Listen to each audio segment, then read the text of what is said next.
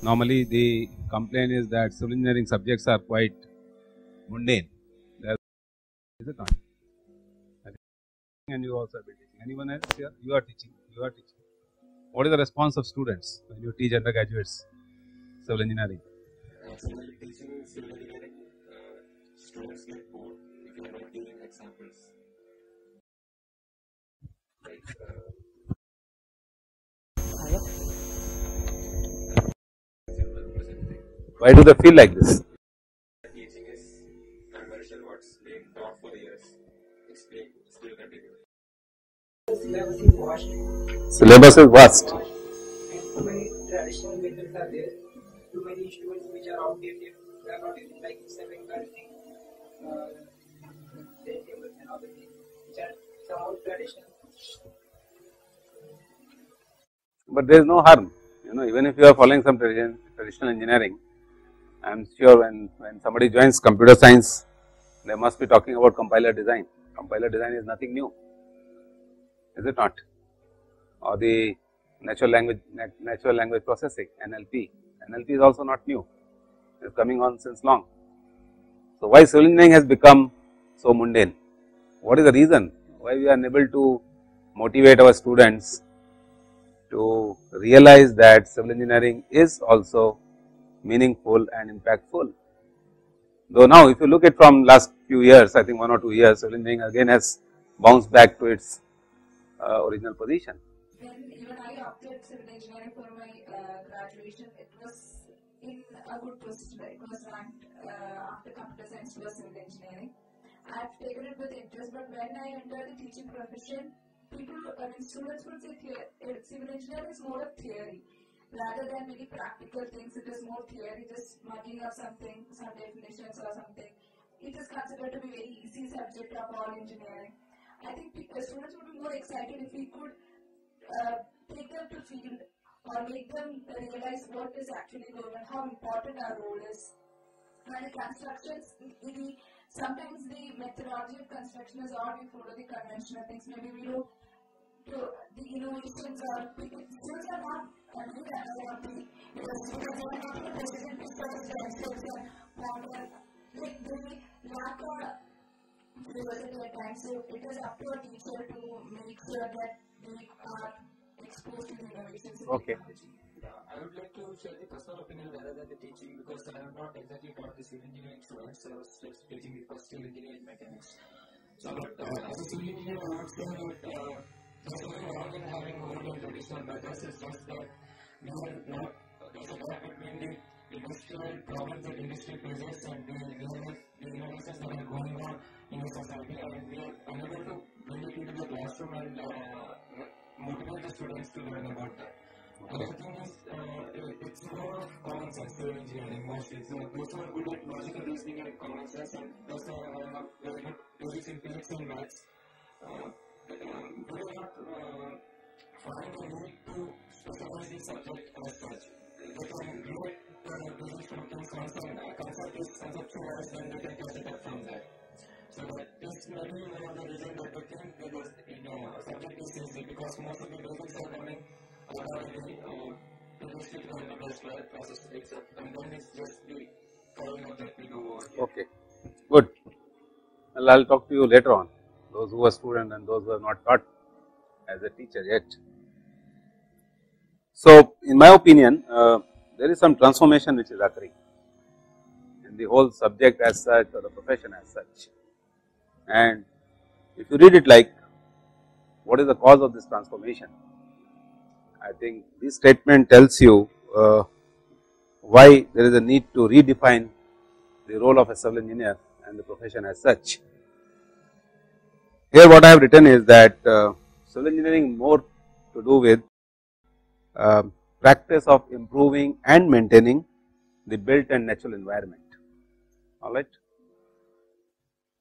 Why I have given emphasis on improving and maintaining the built and natural environment, there are four words which I am using. The first one is improving and the another one is maintaining, maintaining and the third one is built environment and the natural environment. What is your understanding? Today I think I am hundred percent correct in as far as your name is concerned. Yes. uh, natural environment. Yes. Uh, we uh, we need to improve it, and uh, after that, uh, we uh, we improve it, but uh, we should focus that we, it should be well maintained condition. What do you understand by natural environment? And in what way it is different than the built environment? Are they different things or they are the same thing? most of the environment we are, I mean, uh, we come across, I mean, it came- and coming across environment, by that I mean, right now we are living in a built environment is what I feel, which means everything is man-made. Yes, you are right. So, built environment is something which has been, which is a synthetic environment. Alright. So, there is some synthesis going on which has resulted into creation of infrastructure. We talk about built space technology. Alright, these days. If you go to the website of most of the western universities in the western world, you will find that they do not use the word civil engineering as such they say school of built environment. It's a, it's in fashion nowadays, alright. So, yeah, the first thing we have to understand is there is something which nature gave us, very pure, very virgin and which has been adulterated so much that now it has become a built environment, chaos everywhere. We will be talking about this. Now, two more, words which I have used are uh, maintaining and the second one is improving. Why there is an emphasis on maintaining and improving? And in my opinion, this should be the domain of civil engineering. Now, one side you are doing infrastructure development, the more and more infrastructure is being created and this infrastructure is ultimately leading to chaos. What type of chaos? Uncertainties, is it not? Fine. You create more and more multi-story buildings. The basic issue is maybe sewer lines are not operational. You create more and more mega cities. The first issue is from where we are going to bring the drinking water. Clear? The more and more malls you create, what happens?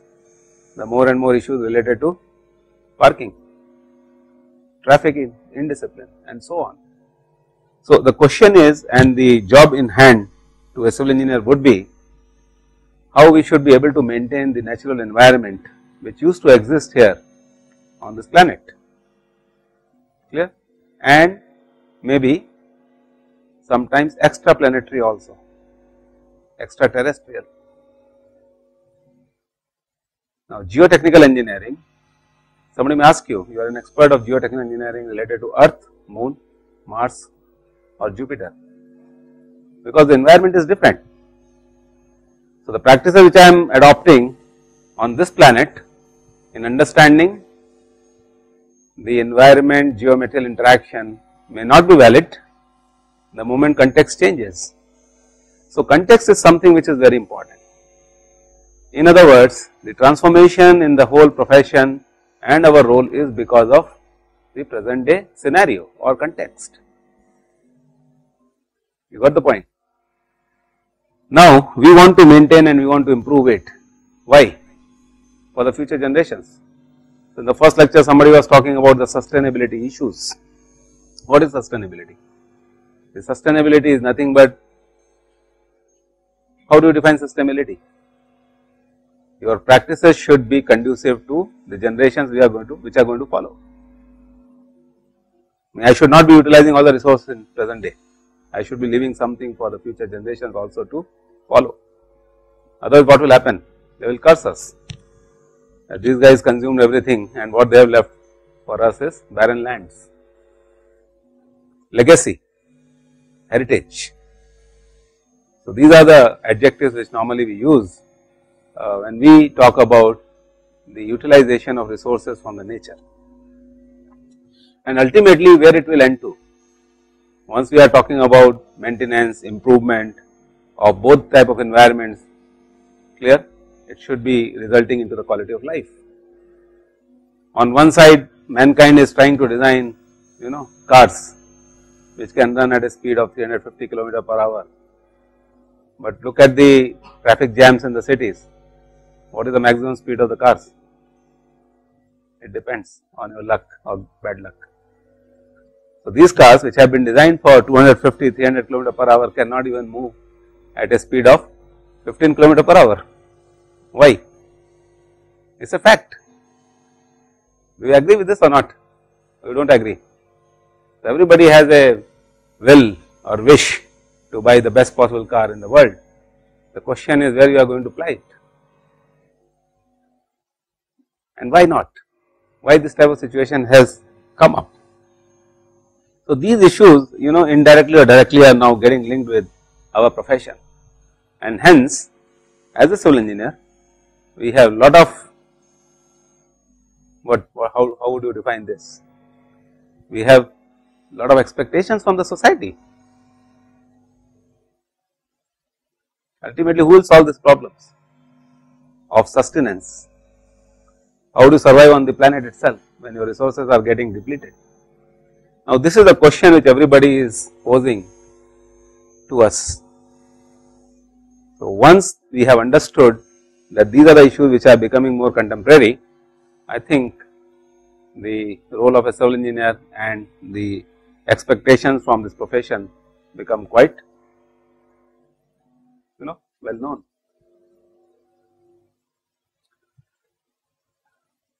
So, over the years what has happened is another definition has been given by ASC American Society of Civil Engineers regarding the civil engineers that we are the ones who are designers and builders of the quality of life. Now, quality of life appears to be a very political statement, but truly speaking I am sure that even in the western world the quality of life is being debated. The more and more industrialization which occurs is affecting directly or indirectly the quality of life. Is this okay? So, though we our job was to design and build, but that what is that we are trying to design and build not only the infrastructure. Truly speaking our job should have been talk about the quality of life. When you sit with your grandparents what do they say? Normally what is their tendency? You may show them the best possible mobile which you might have procured, but still they say during our days life was much better normally. Now this is how you feel that there is a generation gap and these people are your grandparents and we are grandkids. What is the, what is that they want to convey through this statement? That the quality of life is missing. Even if I have to cross the road outside IIT gate at 8 o'clock in the evening, you know I have to be very careful. I know that somebody is going to knock me down if I am not very careful or even if I am careful the chances are yes it may happen clear it is sort of a fear it is sort of a chaos which is really prevailing in the system. Those who are living in Hiranandani also you talk to them they will say the life is hell here they might have spent enough money to buy a flat crores of rupees but whenever they want to come down they cannot why the traffic is so much that they can't even enter in their own building during certain duration of the day. So, overall you know this type of situation is occurring. So, what I feel is that civil engineers should be the creators of civilized society. Now, how do you define civilized word is very important.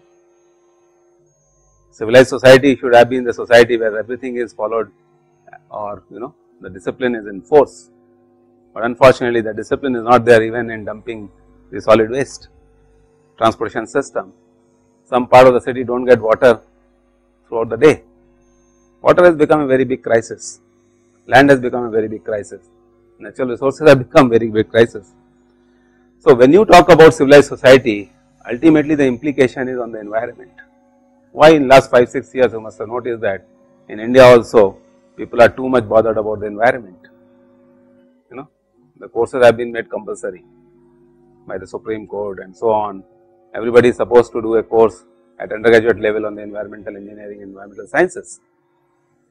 So, ultimately all these things are related to the environment, the type of habits which you have and these habits are ultimately going to dictate to the type of society which you have created.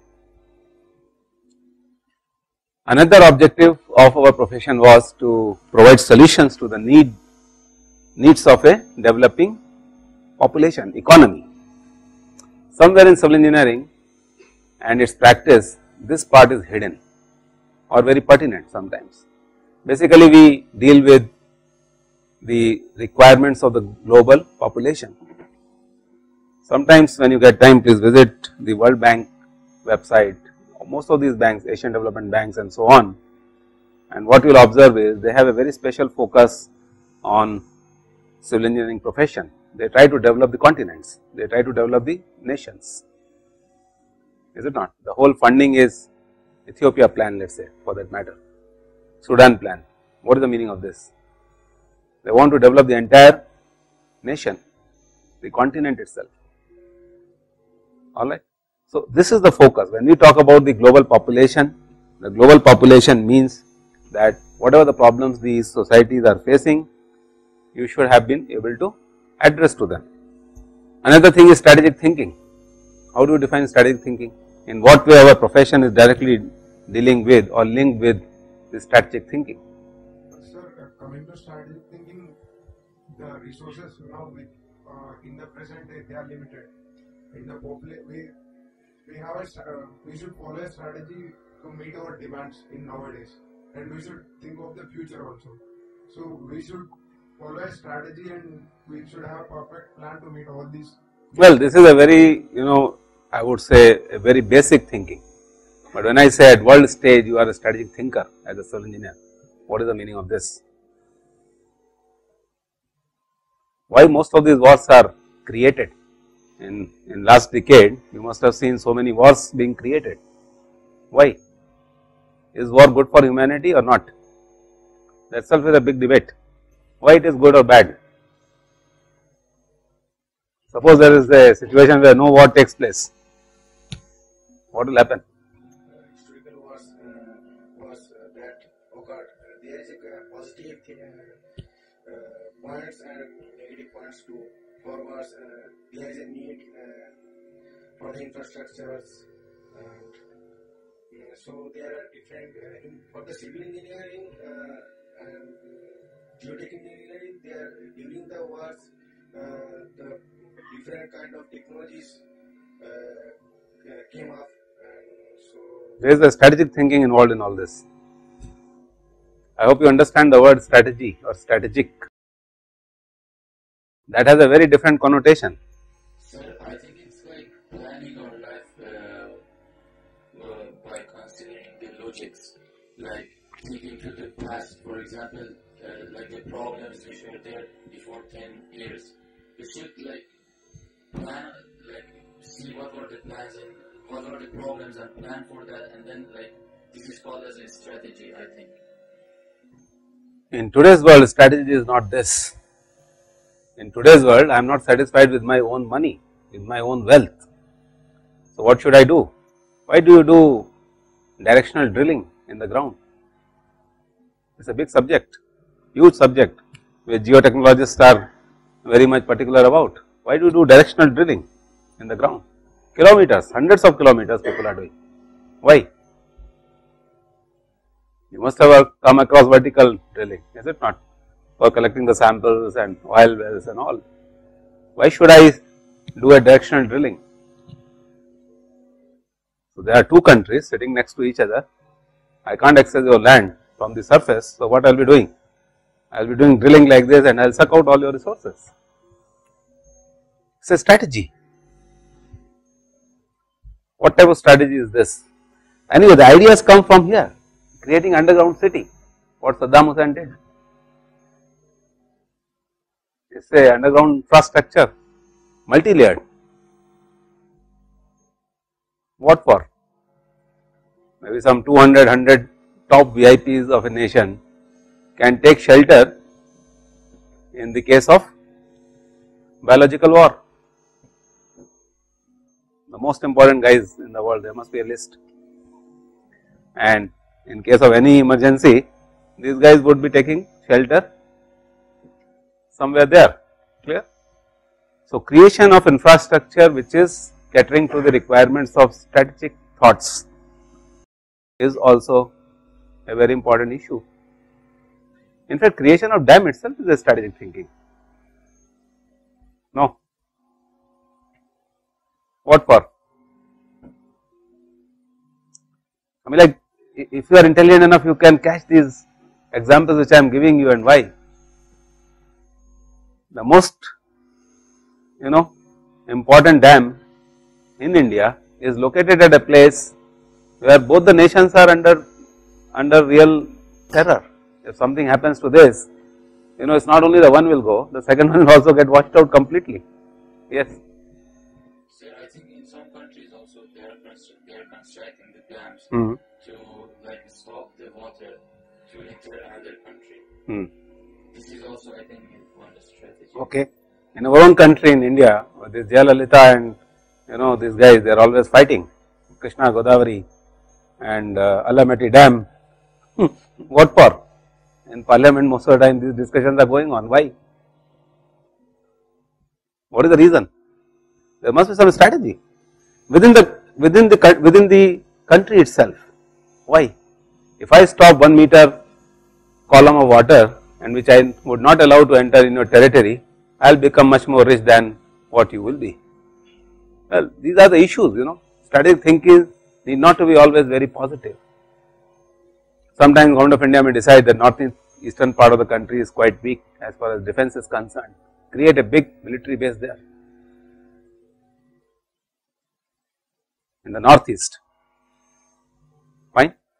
Why it is required? It is a strategic thinking to protect your nation against any sort of insurgency from the border.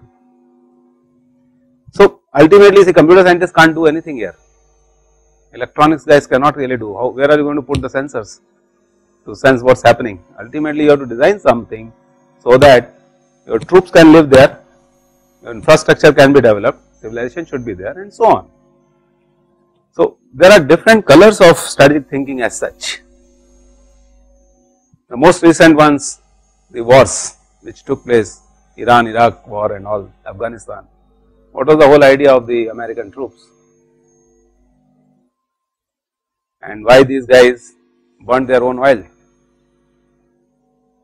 I hope you must have studied all this, you know, the, the psychology and philosophy of these wars.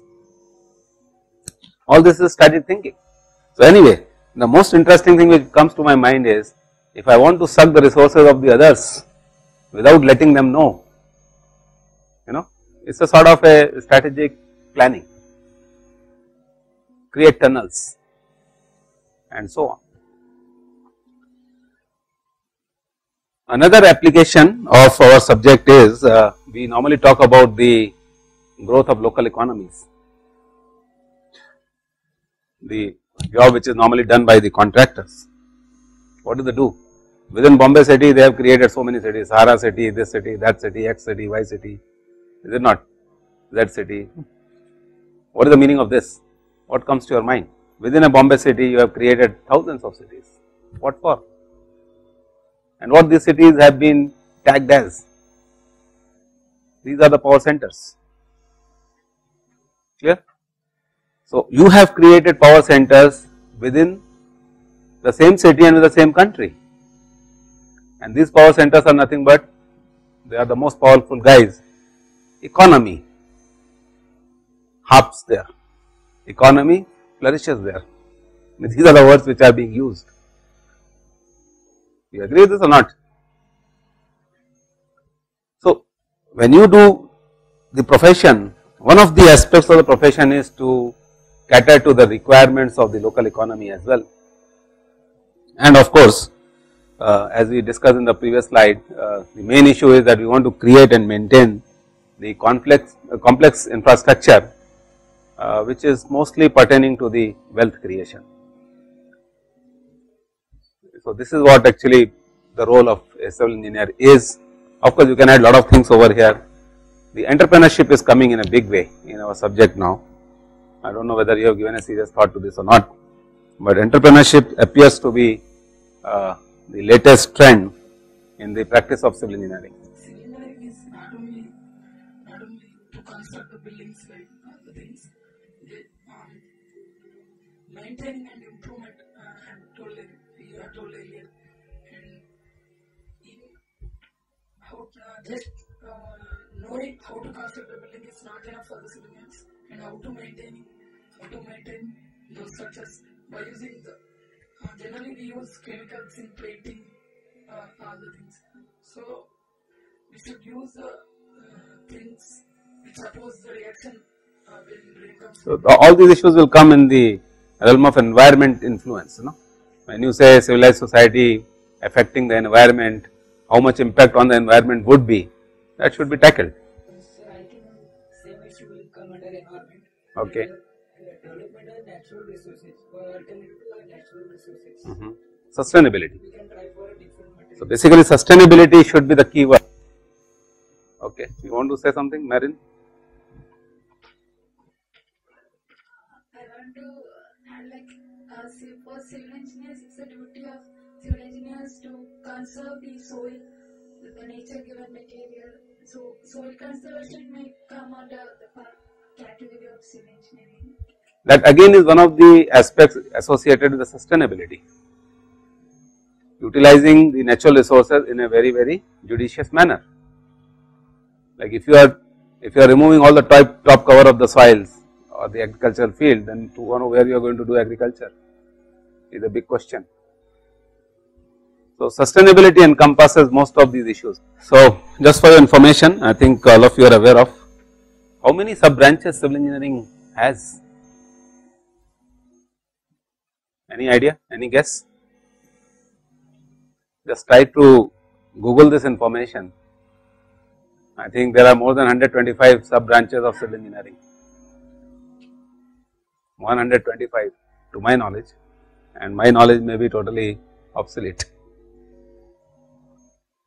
Now, there are few subjects which are very broad, you know, which we list like and uh, which say structural engineering, construction engineering, urban planning, transportation engineering, then water resources, hydraulic engineering, environmental, municipal engineering.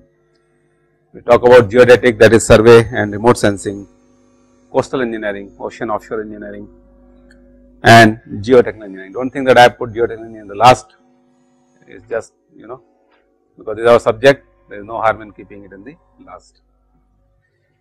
So, this is a major subdivision of civil engineering, but within these subdivisions you will find several specialty topics which are gaining lot of importance in today's world. Now, this is something which I always like to share with people.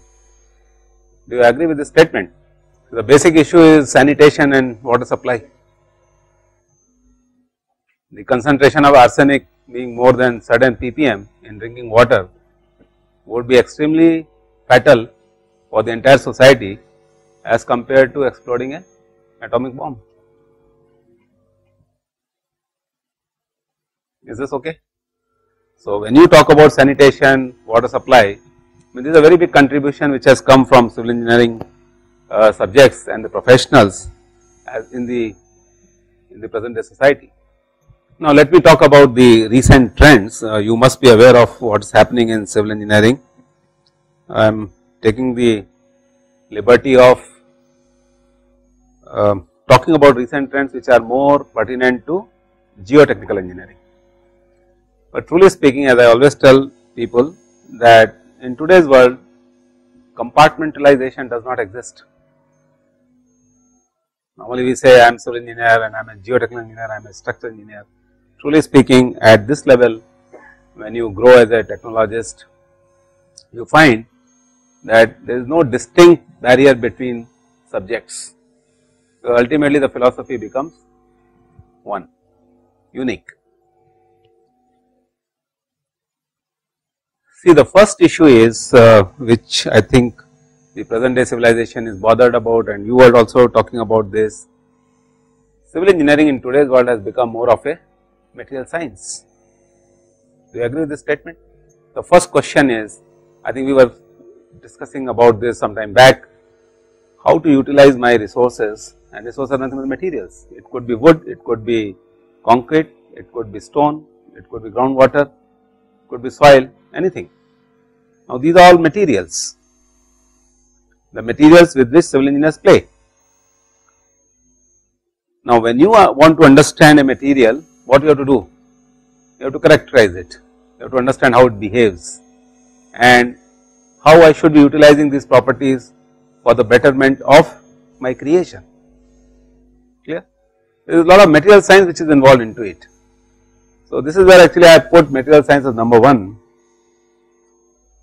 A lot of nano materials, micro materials, neo materials are being devised.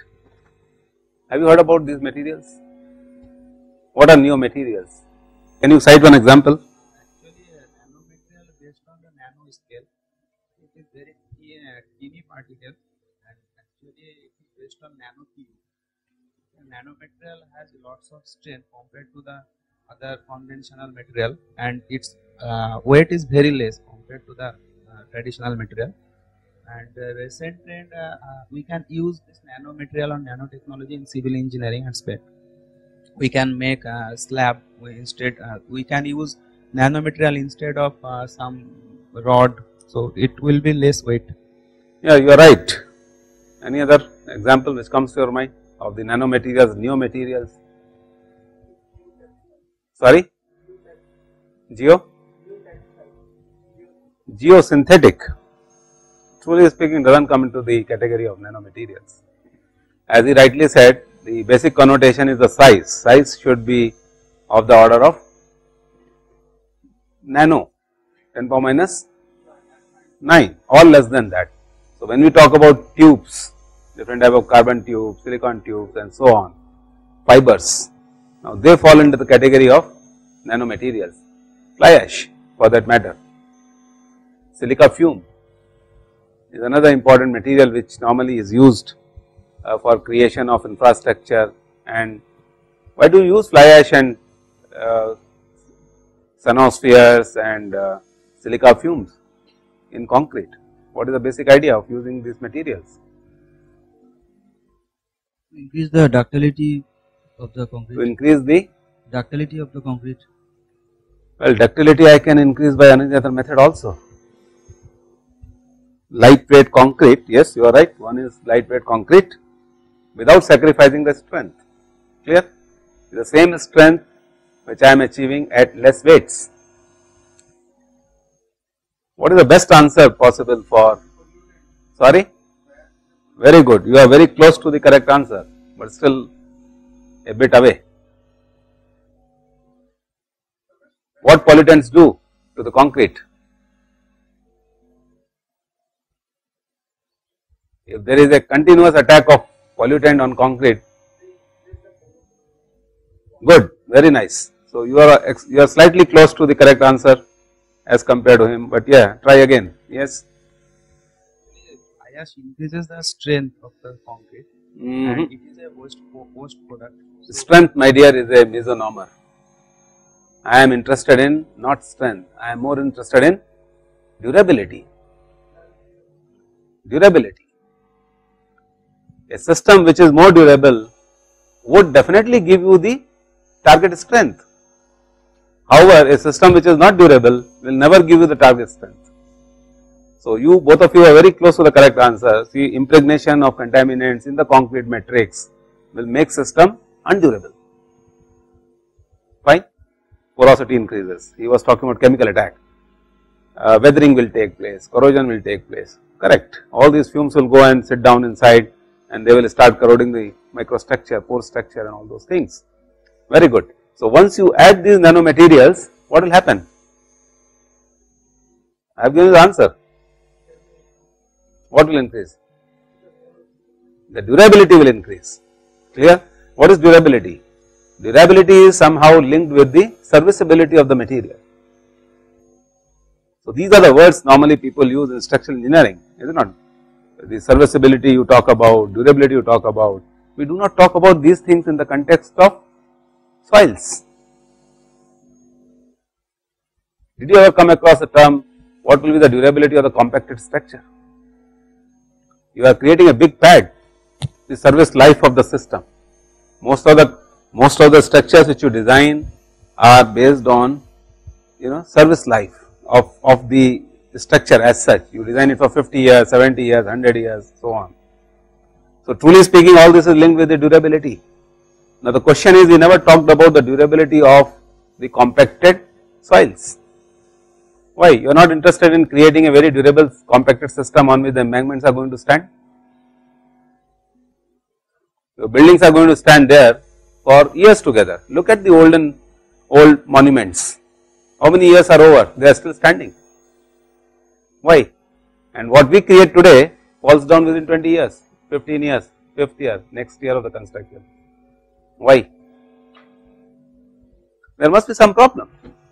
So we never bothered about, you know, the engineering associated with the material. We never engineered the systems in such a manner that we could get maximum out of them. Are you getting this point? So what these nanomaterials are going to do? These nanomaterials are going to create high service life in terms durability. So you are right when you talk about porosity and perfectly okay. So all these fine particles they will go and sit in the matrix of the concrete. Your fumes of contaminants cannot impregnate them and hence what happens system becomes much more impervious clear. If something of this sort could be done for the compacted bentonite, compacted clays and if I bury my atomic waste there, this is the best possible situation. Nothing will come out of it. It will always remain there completely isolated from the environment forever. Are you getting these ideas? Any doubts? I think I have discussed a lot of things. So, most of the emphasis is on new materials, neo materials is nothing but the new materials. Now, new materials could be, some people talk about fly ash, some people talk about cenospheres, some people talk about zeolites, some people talk about resins, some people talk about micromaterials and so on, silica fumes, crushed glass and so on. Now, the million dollar question is how would you create a synergy between the two? So, soil is not such a easy material to master, you know that. The question is if I mix something into it, whether that synergy will occur or not and in case synergy does not occur, what will happen? There is no point in wasting money, energy and time in creating mix. So, this has become a very big topic of research, present day geotechnical engineering, material science most of us are looking into the soils, rocks as a material, clear? And when you are looking into it as a material, basically you want to achieve best out of it. You want to achieve the best possible potential of the material for a given situation. Another issue is mining, mineral engineering. Until some time back, mineral engineering used to be the domain of mining engineers. But truly speaking mining cannot be done unless you talk about the geotechnical stability of the mines. I am sure you must have come across these issues. Collapse of the mine itself is a big problem, fine, where you talk about the stability of the system, strength aspects, tensile strength of the rocks, tensile strength of the soils and so on, impregnation of the fluid, you know at what seepage conditions the system will still remain stable and so on. And then mineral processing and mineral engineering itself has become a part of now geotechnical engineering. Because when you try to understand the material from the basics, the first thing is what are the basic constituents of this material. And when we talk about the basic constituents, these are nothing but the mineralogy. Is this okay? So, lot of efforts are being done in understanding the mineralogy of the soils and rocks. In our group, uh, Susha Lakshmi is working on understanding the mineralogical composition of the soils and quantification of the various phases which are present in the soil. Geohazard, I am sure you must be aware of. Can you cite some examples of geohazard? Yes volcanic eruption okay yes landslides yes so there could be two types majority sorry in broad sense there could be man made and there could be natural clear. Volcanoes cannot be man-made I am sure, these are natural processes alright. I think I will ask you this question in the previous lecture whether volcanic eruptions are uh, good for the humanity or not. Apart from the destruction of life and property, if you look at the advantages as a geotechnical engineers you can always say that the advantages are going to be much more in creation of new land, soils and so on. Apart from this, so you talked about earthquakes, earthquake I think nobody talked about, land, landslide and what else was the thing? Volcanic eruption, volcanic eruption, earthquakes and landslides, landfills, but landfills are not geo geohazards truly speaking. Sorry? That is not geohazard truly speaking, that is consequence of something which you are dumping. Avalanche. In most of the hilly terrains, the biggest problem is snow sliding down, is it not avalanche. Tsunami is a geohazard, though it is induced by the waves of the ocean, but truly speaking the damages which it causes to the land is classified as a geohazard. Cloud burst is becoming very very important thing, is it not cloud burst. What happens because of the cloud burst? Flooding occurs. 7 8 years back you must have heard in newspapers that most of the troops in India they were killed because of not because fighting a battle or a war they were killed because of flooding which took place due to cloud burst. You, you came across this news item? It happened in Shimla, not Shimla. Okay. Fire has become a big geohazard. How to safeguard your structures against fire, explosives, explosions. Another interesting area which is now uh, coming up in our subject is IT, information technology, artificial intelligence and expert systems. Have you come across such type of things? Role of information technology, role of artificial intelligence. How many of you have done ANN during your undergraduate? Artificial neural networks. You must have used them, is it not? No? No one has used ANN? Sorry? No, no, GPS is different altogether. Genetic programming, GP, you haven't done? Now these are the tools which you know people are using to solve the problems associated with let us say instability of slopes. Completely you know uncertainty issues, risk and uncertainty. How to define this factor? You should have a database, you should have an expert system where you should be getting an information that if this precedence exceeds this number is going to cause a failure. Based on the earlier possible information. Clear.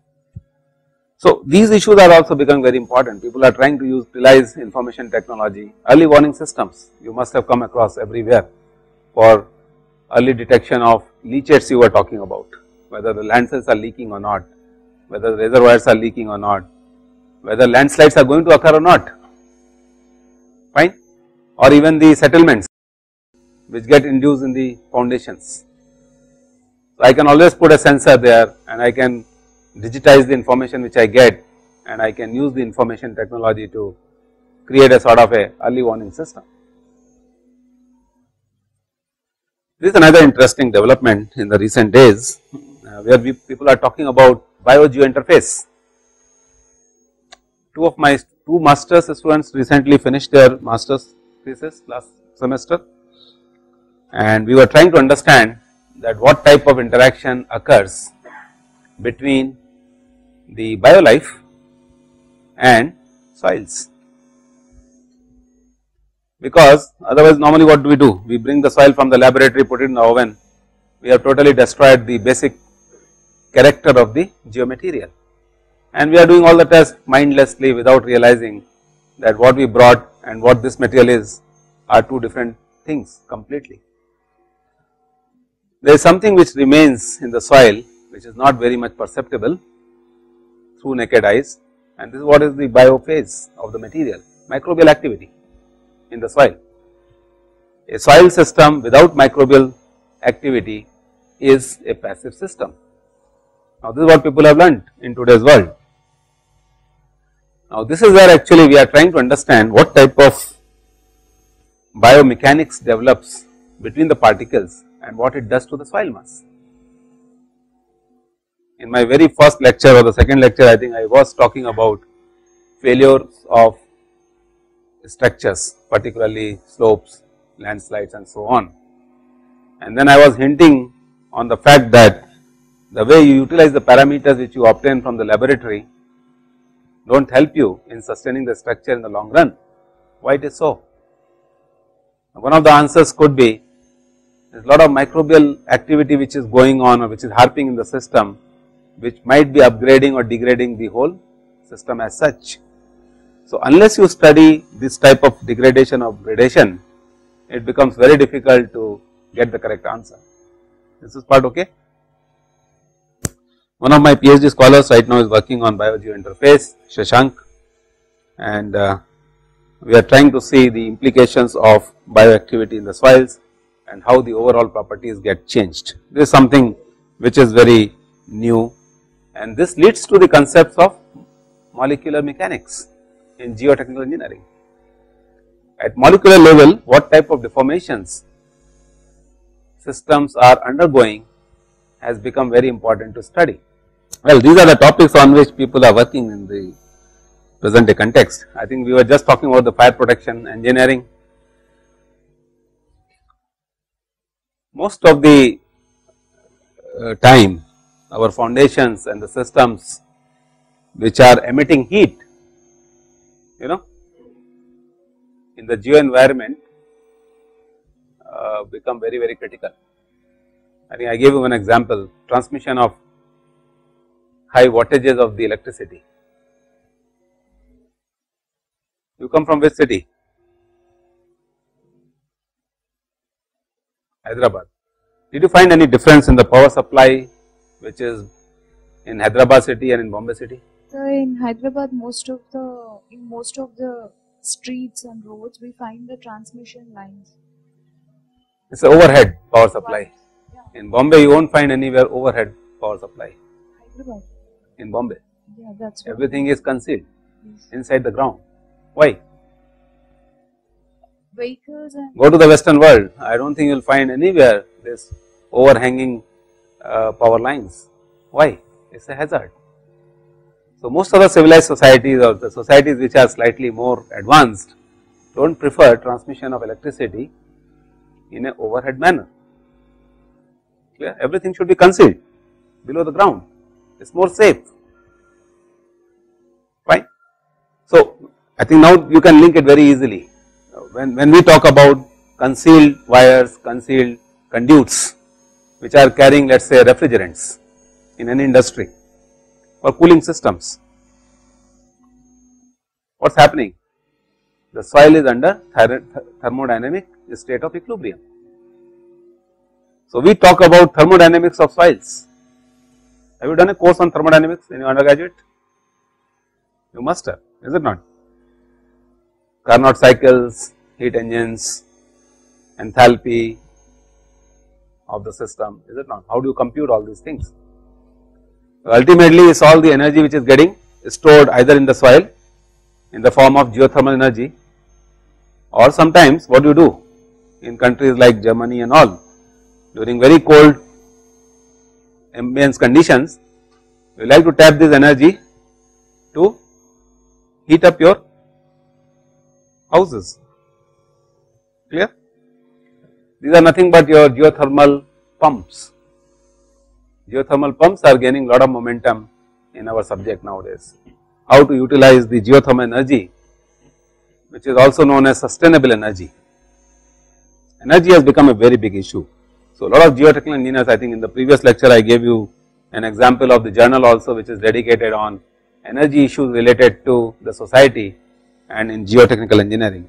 So, fire also comes in the picture, how to safeguard the structures against fire and fire basic attribute is heat. So, how to safeguard the entire thing against heat.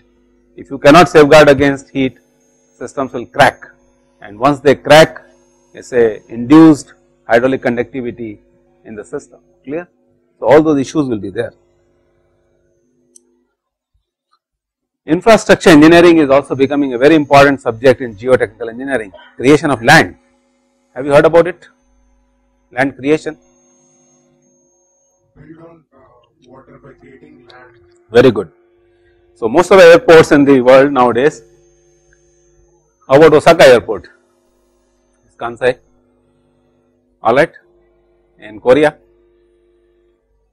in, in Singapore, in Japan, most of the places you will find that they are encroaching upon the sea because they do not have land in the country. The biggest reclamation which they have done for Airbus 380 industry is one of the largest reclamation done by mankind you know uh, in Germany near Hamburg and uh, this is a worth seeing place. Next time when you go there please visit Airbus industry and uh, a huge reclamation which they have done from the sea. So, this is what is known as infrastructure engineering particularly land creation and this is where people like Rakshit they are working on dredging and reclamation. Soils are becoming very meager to get, you do not have soil. So, the question is how I am going to reclaim land in the middle of the sea. Creation of land by using artificial soil that has become a big issue. We do not have soil anywhere. Singapore is a country which grows every day area wise. Clear? Why? They keep on doing reclamation. Hong Kong is another beautiful example. Now Bombay is also in the same list. One of the mega stabilization reclamation from the sea is going on right now at uh, Jawaharlal Nehru Port Trust JNPT. This is also very interesting topic which is very close to the heart of uh, geotechnical engineers restoration and preservation or rehabilitation of monuments and old structures. Believe me we do not have many experts in these subjects. So, if some of you want to take up as a profession I think this could be a boon for both to you as well as to the society. You have architects, but we do not have geotechnical engineers who can take care of the restoration of monuments and rehabilitation of the monuments. Most of the structures are sinking. Any best possible example which comes to your mind where the rehabilitation of monument was done a few years back, you will find this structure Leaning Tower of Pisa and this has been rehabilitated. Geotechnical engineers have done alright. This is another interesting topic which is coming up very fast in our discipline. Are you aware of these topics or this is the first time you are hearing? You never realize that the geotechnical engineering has so much scope. No? So, people are talking about the cold region geomechanics. We are very fortunate in our country except for some parts of the country, the rest of the climate is tropic, is it not? We have mostly tropic climate. But you go to the Leh Ladakh, Himalayas, upper Himalayas, Badrinath which you are talking about, Kedarnath, Uttarakhand, where most of the troops are positioned. They are also human beings, they require the infrastructure to live, is it not? They are not living in 17th century where you ask them to live in bunkers. Who will go there? Who will join army then? Who will defend your country? A big question. So, these subjects are now gaining up momentum in India also. Go to the western countries, most of the countries are having very tough time because of freeze thaw, snow. most of the part of the snow the top layers of the soil gets frozen during extreme winters. How do you lay the foundations of structures and the uh, let us say pavements or the air strips on these type of soils. And when summers come, what will happen? The thaw process will start, the entire thing will melt and then you will have excessive settlements because of thaw. And freezing also is equally culprit. What freezing of soil will do? It will create expansion of the soil, cracking. So both where the problems are. Then comes the lunar mechanics, Martian soil mechanics. Days are not far away when people will have colonies on moon. Yes. So already government of India has a plan for lunar mission. So right now we are talking about only soil samples from you know the vicinity and we talk about the composition this and this, but truly speaking our subject is also poised to become extraterrestrial. Very soon I am sure in your professional career you will come across this situation where somebody will ask you to find out the properties of the lunar soil. Though our lab was a part of this mission of government of India, we helped them. Another interesting thing which is coming in our profession is forensic engineering, forensic examination. What is meant by forensic examination? Why a system has failed? First of all, you should have made the system alright, but because of whatever reason, if it fails, then what do you do? You try to do postmortem analysis. So, forensic examination is nothing but the investigations which are post failure, why this has happened. Then someone will submit a report, compaction was not done properly, the settlements were excessive, alright this portion was ignored or maybe the foundations did not reach up to the hard strata, alright. Another context could be a lot of contaminants were eating up the concrete of which the pile was made up of and because of the severe contaminants the concrete got corroded completely and the bars also got corroded completely and piles became dysfunctional and hence the entire system collapsed. Are you realizing these type of situations which are coming and which may be very very valid and pertinent in the commercial complexes and the places where most of the chemicals are being produced because of spillage. So, forensic engineering is also picking up you know in present day scenario. Legal problems associated with engineering profession, why something failed?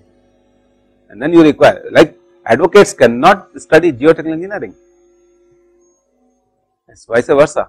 Geotechnical engineers can put up a case in such a manner that it can be presented in a local court. So, this is where you are asked to come and give advice to the judiciary that why this system has failed, why so many people died. Every year landslides take place, a lot of people die in Bombay and most of the parts of the country. There are judicial inquiries which are set up on this and sometimes you are asked to give your opinion as a technical man, professional guy, what went wrong. Okay, this is a very interesting profession. And last but not the least is the energy which I have been advocating since long. So, energy geotechnics itself is becoming a very big subject within environmental geomechanics, fine. What is your, what is your uh, I would say, what is your reaction after seeing this list? So I've just realized that the, uh, the geotechnical profession has a lot of scope in, of research, scope for research. And practice for safeguarding the society. Anything else which comes to your mind? Yes.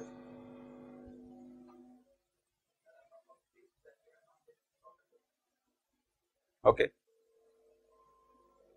You want to say something? Okay.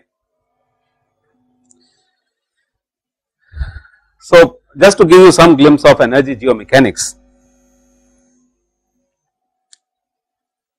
See, gone are the days when we used to say that we do not require energy. Nowadays, our society is totally relying on energy, any part of the world. I mean again I cite many times go to Scandinavian countries, Norwegian countries, European countries, most of the parts of the America, South America, what is the problem? Basic problem. How to survive during winters? No? Natural resources are not there now. How they will survive? Minus 40 degree, minus 30 degree for 6 months altogether. Go to Norway. Russia, parts of Japan and so on. We are so lucky. We have never bothered about these issues. That is why India is supposed to be a very beautiful land. Our climatic conditions are so good, we need not to bother about anything and that is why we did not do any research. We were sleeping, we were very happy that yes, everything is very comfortable. But now what is happening? No city gets power, our coal deposits are depleting, we do not know how to clean the coal also to burn them and get maximum power out of it. We have to buy coal from Indonesia, such a small nation which supplies almost 50 percent of the requirements of the country to run your power plants. And the day they say no, that is it, you will go back to the stone age. None of your mobiles will work, none of your gadgets which you have purchased will work without energy. So, energy has become a very, very problematic issue and very important issue in today's context.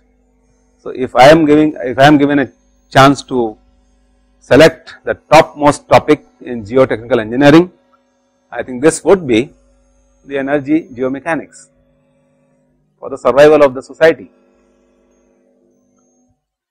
I am sure all of you are aware of the, the fossil fuels are getting exhausted and the, now people are talking about the nuclear energy, there is a lot of debate going on between nuclear energy and the fossil energy and so on. You must have heard about it, no? This was in parliament also some time back during Manmohan Singh's regime. NDA government was about to go because of NPA treaty signing, NPT.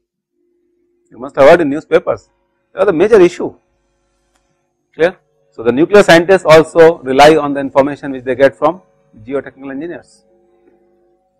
How much fuel you are going to make take out from the ground, how you are going to incinerate it, what type of solid waste is going to get generated, how environment is going to get polluted and so on. So, there is a big debate going on whether the society should be depending upon thermal power or nuclear power. Both have their own consequences. Is this okay? Now, this is where the very complicated nature of the soil and how it behaves when we talk about the overall environment becomes a very, very uh, questionable thing and lot of studies have to be done in this context.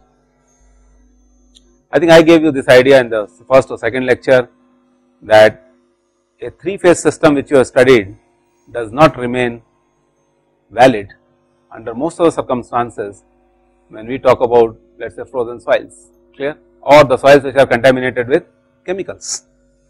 So, this is where we, we have to revisit the classical concepts of geotechnical engineering where we used to say you know 3 phase model and G into W equal to S into E and all those things truly speaking they become a big question mark. Now, this is where the two students of mine who are working in the gas hydrates Sanyam and uh, Jivan I think during discussion during the introduction they must have spoken out about their topics they are working on gas hydrates. So, gas hydrates are nothing but the uh, future source of energy on which the mankind is relying when the hydrocarbon are getting exhausted and speculation is that they may get exhausted very fast. Another good example of energy geomechanics is carbon sequestration. Whatever carbon dioxide is available in the environment, if I can catch it and if I can pump it into the aquifers for replenishing them, you know this becomes a most sustainable situation. So, recharging of the aquifers with the carbon dioxide which is present in the atmosphere because of industrialization would be a reverse cycle to stop the impact of these activities on the environment. Did you realize it is a reverse cycle.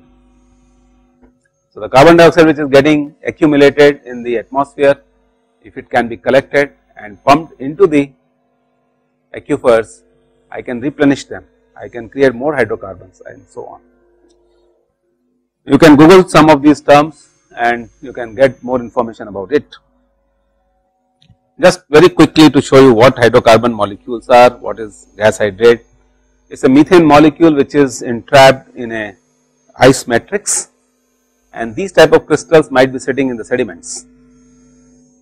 Now this is what actually uh, has to be withdrawn from the seabed and there should be some dissociation process which has to be allowed so that the methane can be retracted. Clear? This is the whole philosophy. Government of India is spending a lot of money, thousands of crores are being spent on this topic right now to work on and uh, we have two projects from ONGC IEOT and my students are working in this area. However, the challenges are first of all how to estimate what is the amount of you know methane hydrates which are existing in the subsurface. So, this is where the geo exploration becomes very important different type of exploration techniques uh, which are used to detect what is the thickness of the layer in which the hydrates are sitting and once you have done that the another issue would be how easily they can come out from these formations. So, we do not talk about hydraulic conductivity at all there. We are more interested in finding out how gas migrates into the sediments, porous media. So, hydraulic conductivity experiments which you have done by allowing water to flow through the porous system, this whole thing gets changed when we think of how gas migrates through the soil mass. You got the point? And to make it much more complicated, there could be a situation where the water phase and the gaseous phase might be existing together and is poised to travel in the porous media from one point to another point. And to make it much more complicated, there could be a situation where the entire process is happening under very high pressures and very low temperatures. So now you imagine what I am trying to do is I am trying to do a hydraulic conductivity test in the laboratory where the temperature and pressure conditions are totally different and it is not only the fluid phase which is passing through the porous system, it is also the gaseous phase which is associated with it. So this is the future of geotechnical engineering where we talk about and I am sure you can realize now the entire theories of shear strength, compressibility, consolidation, all those things have no meaning when we pose a problem like this which is much more practical. Is this okay? So this is how actually people are getting too much involved into these type of things. Another issue is when you extract these type of crystals from the seabed, alright, there could be instability.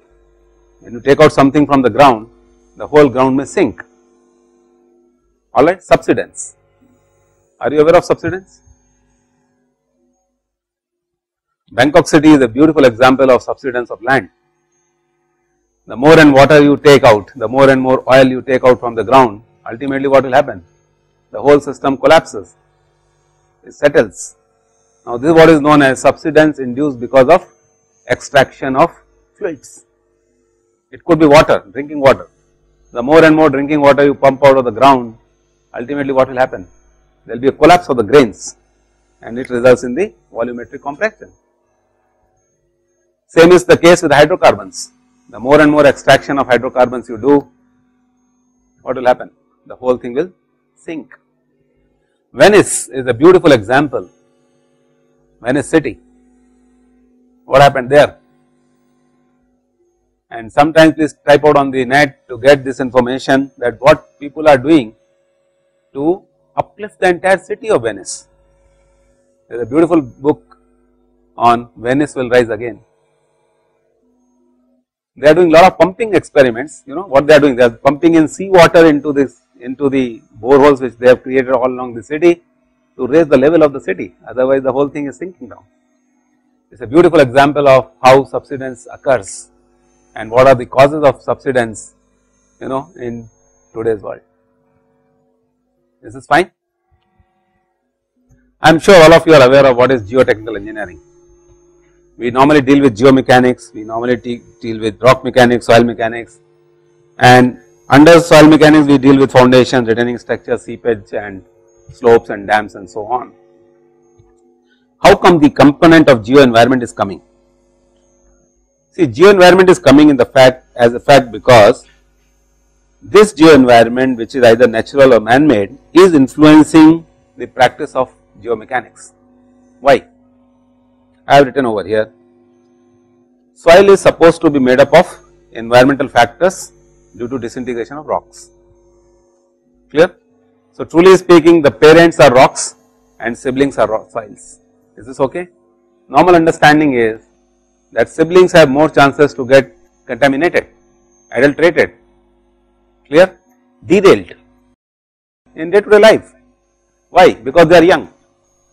So, the effect of environment on the soils is much more by virtue of the fact that these materials are very young as compared to rocks. And look at the matrix, the matrix of rocks is extremely compact, very mature seasoned players, they are not getting affected by whether they are playing in Eden Gardens or whether they are playing in Mohali, it does not matter to them, clear. Environmental effects are less, but the young material which is formed hardly say thousands years back, 5000 years back, 10,000 years back, it is much more susceptible to the adulterations which are existing in the environment. Now this is the point from where I have picked up the concept of environmental geotechnology, environmental geomechanics. Is this part clear? So this was the philosophy which we are dealing with. Last question, last class I was asking a question what is the difference between engineering and technology because here one must have realized that now we are not doing engineering we are talking about a lot of technology in the recent trends which I depicted you know. So basically you answered most of you correctly. I have taken it from wikianswers.com. Engineering is process of putting things together, alright. Is a term applied to the profession in which a knowledge of the mathematical and natural sciences gained by study, experience and practice is applied to the efficient use of the materials and forces of the nature. So, this is simple engineering. Now, when we talk about the technology. What is technology? In what way it is different? We talk about engineering that has proven to work over and over again by virtue of more and more R&D. Clear? So, technology is always improving and it is much more advancing in nature.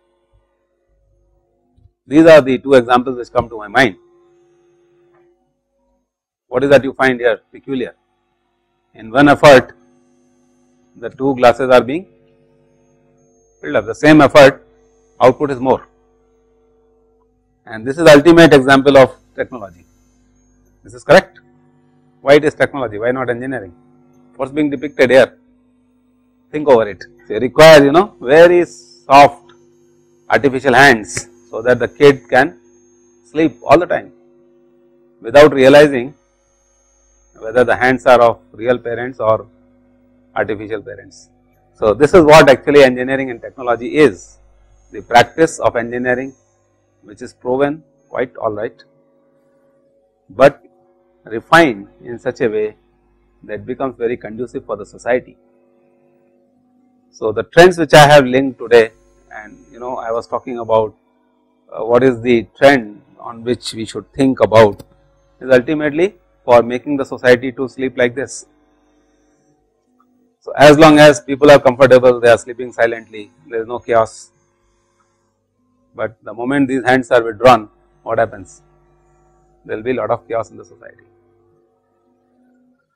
fine and I always say that similar ideas are required in the field of geotechnical engineering and we will try to maybe talk about some of them. Thank you.